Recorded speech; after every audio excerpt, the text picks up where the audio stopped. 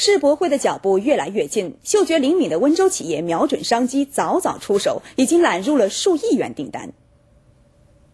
在温州经济技术开发区滨海园区正康实业的车间里，正热火朝天赶工的是公司为上海世博会中国馆及排水工程提供的不锈钢管件。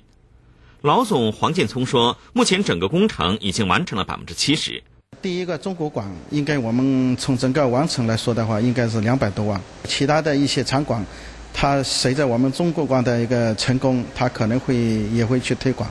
正康生产的不锈钢管件拥有自己的连接专利技术，公司投资八百多万元，历经三年时间所攻克的这项技术，节省了百分之四十的原材料。产品在性能达到国际领先水准的同时，在安装简易、使用安全和价格上更具优势，而且在奥运会鸟巢、北京商务部等多个项目中备受好评。